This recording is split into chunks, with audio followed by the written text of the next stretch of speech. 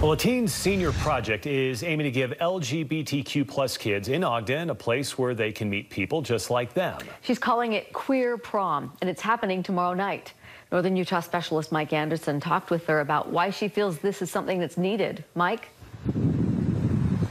Yeah, Deanie and Mike, you know, Queer Prom will be here at Da Vinci Academy, but it'll be open to all teens. And, you know, uh, seniors here at the school are asked to plan a senior project around a problem that needs solving. And Jocelyn Anglesey decided to build hers around building community for teens like her. The type of prom that Jocelyn Anglesey is planning will be much like many others. These are the crowns. But there are also some important differences. Dances have really heavy stigmas around them.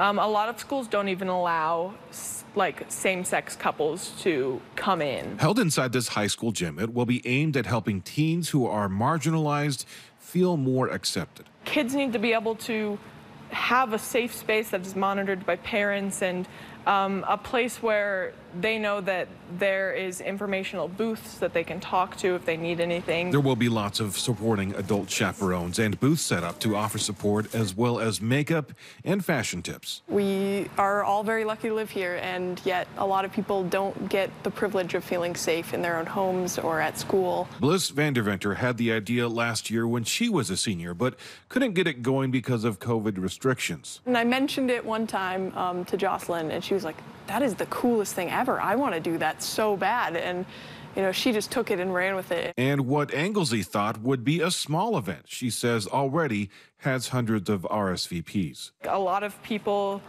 um, contacting me, telling me um, how ex like excited they were that I was throwing something that they could come to. Tonight, they're glad to offer that support to other teens that might not have it in their friends or at home. Everyone needs that. Like, no one should be reprimanded for who they are.